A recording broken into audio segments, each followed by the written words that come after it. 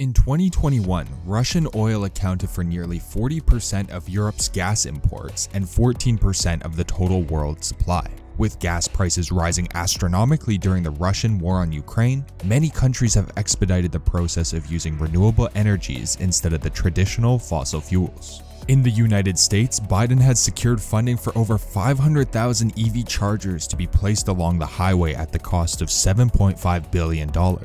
In Germany, 49% of their energy in 2022 came from renewable resources. Other countries are getting creative as well. In July of 2022, Finnish researchers had installed the world's first successfully working sand battery, which can store green power for months at a time.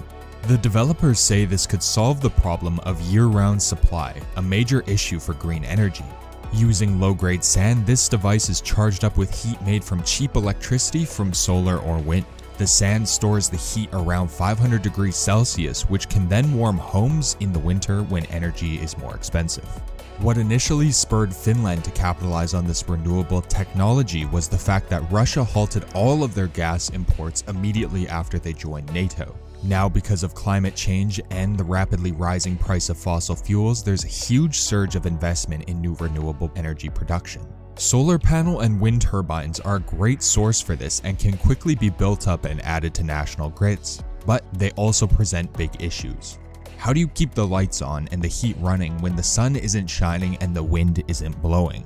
Adding more renewables to the electricity grid also means you need to boost other energy sources to balance the network, as too much or too little power could cause it to collapse. The answer to these variables is to add large-scale batteries which can store and balance energy demands as the national grid turns more green. Now, what makes sand batteries so great versus what we already have? Most batteries today are made out of lithium, which while great at being a battery, comes with a plethora of issues.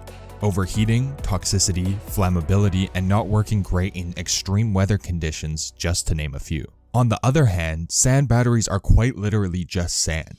It's a natural resource that's simply utilized in the right way. We've talked about the benefits of sand batteries, but how exactly do they work?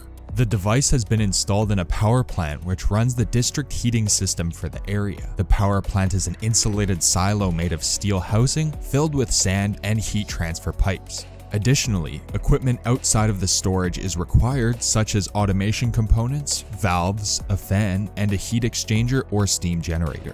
The sand used to hold this energy is high density, low cost materials that are not scarce resources. Polar Night Energy also prefers to use the sand grain sizes that are not suitable for the construction industry to avoid supply issues in the long term. Low cost electricity warms the sand up to about 500 degrees Celsius by resistive heating. This is the process which the passage of an electric current through a conductor produces heat. Most electricity is produced from coal, gas, or oil generators, which only convert about 30% of the fuel's energy into actual electricity. This process generates hot air which is then circulated into the sand by means of a heat exchanger or steam generator.